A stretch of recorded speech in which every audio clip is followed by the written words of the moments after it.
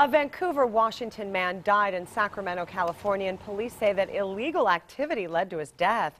They say Craig Fugate was an extreme graffiti artist, and he had climbed to the upper floors of an 18-story office tower on Sunday.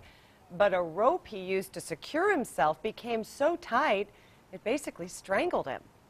It appeared he was had used the rope as some sort of makeshift um, either seat or harness. Police say they found spray paint and other graffiti tools on the ledge near Fugate's body. Surveillance cameras captured him going into the building on Sunday, but investigators don't know why he targeted this particular office building. Well,